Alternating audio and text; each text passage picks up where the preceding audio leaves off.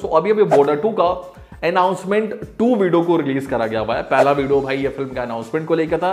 Then दूसरा video के ज़रिए ये बताया गया है कि फ़िल्म में हम सबको वरुण धवन देखने को मिलने वाले हैं। और मुझे ऐसा लगता है कि ये सदी गाना सबसे घटिया अनाउंसमेंट है।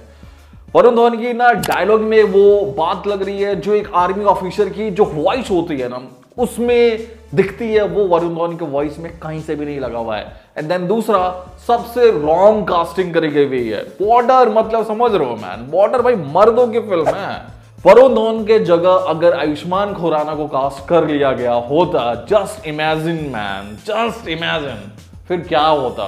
वही मैं तुम लोग को बोला कि ये ना बॉर्डर ना एक मर्दों की फ़िल्म है। इसमें ना वरुण धवन टाइप से कुली नंबर वन टाइप वाले एक्टर की ज़रूरत ही नहीं है। इसमें थोड़ा चाहिए भाई वो फेस पे एक्सप्रेशन दिखना चाहिए। तुम्हारी आँखों में वो दिखना चाहिए भाई जज्बा कि भाई सामने वाले को फाड़ के रख दूँगा। ऐसा लगना चाहिए। भाई वरुण धवन के फेस से भाई तुम्हें किस एंगल से लगता है यार भाई, जिसने भी कास्टिंग करी है भाई, उसको 21 तोपों की सलामी देनी चाहिए कि भाई, बहुत ही तगड़ा ये लोगों ने कास्टिंग करा। मुझे ना बॉलीवुड वालों को ना एक चीज़ एकदम समझ में नहीं आती है। ये लोग पूरा एफर्ट्स लगाते हैं बेहतरीन फ़िल्म बनाने के लिए। बट कहीं ना कहीं ये लोग इतना गंदा हकते हैं ना कि ये वजह से ना मीन्स इस वजह से ना, पूरी को पूरी फ़िल्म का बेड़ा गर्क हो जाता है। तुमने मेरी बातों को ना कहीं नोट डाउन या सेव करके रख लेना। बॉर्डर टू का अगर सबसे कोई घटिया और नेगेटिव पॉइंट होगा ना, वो वरुण धवन ही होगा। सब कोई वरुण धवन को ही भाई क्रिटिसाइज करेंगे। एक बार जाके डायलॉग सुनो मैन कि यार कैसे डायलॉग बोल रहा है। इतना हल्की आवाज़ में कोई कैसे डायलॉग बोल सकता है यार?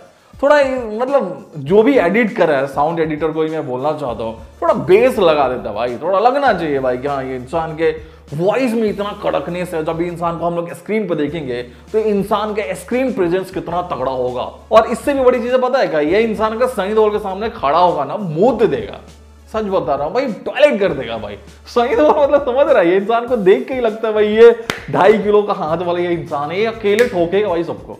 और सही तो भाई खा जाएगा। अगर इस फ़िल्म में वरुण धवन, सनी देओल के सामने किसी भी फ्रेम में दिखाई दिए। तो सनी देओल का और और इनका ना भाई, जो प्रेजेंस है ना भाई, इस प्रेजेंस से ही भाई ये दब जाएँगे। इसके अलावा, जो ये फ़िल्म के मेकर्स है, जेपी दाता, कैसे कास्टिंग कर रहे हो सर आप लोग?